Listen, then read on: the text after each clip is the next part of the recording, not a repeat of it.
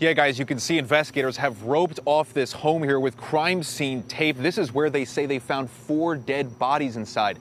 Now we're hearing from neighbors who suspect some of the people living here may have been killed weeks ago.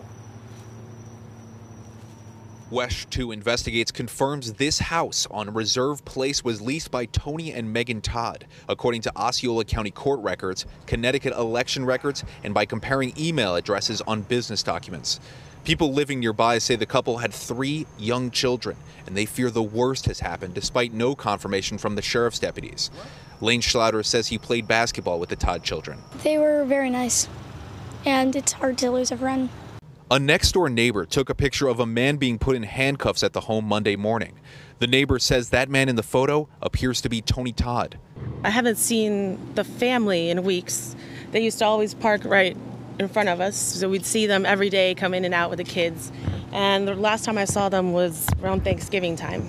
A spokesperson for the Osceola County Sheriff's Office says the identities of the victims will not be released until an autopsy report is done. The man in their custody has not been charged with the crime yet. Now, the owner of this house says the power company turned the electricity off. It looks like the sheriff's office is turning on the lights for now. Court records also show this family was in the process of being evicted uh, back about a month ago. We're here live in celebration. Chris Guardaro, WESH 2 News.